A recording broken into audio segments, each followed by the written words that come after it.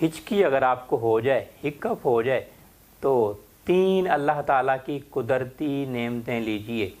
सींधा नमक, काला नमक और आम नमक मिला लीजिए और इसकी मकदार हाफ़ टी स्पून पानी के साथ लीजिए।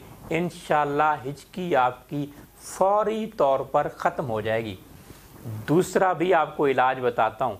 एक चम्मच शहद लीजिए, आधा लींबू निचोड़ लीजिए और चुटकी भर नमक डाल लीजिए, यानी काला नमक।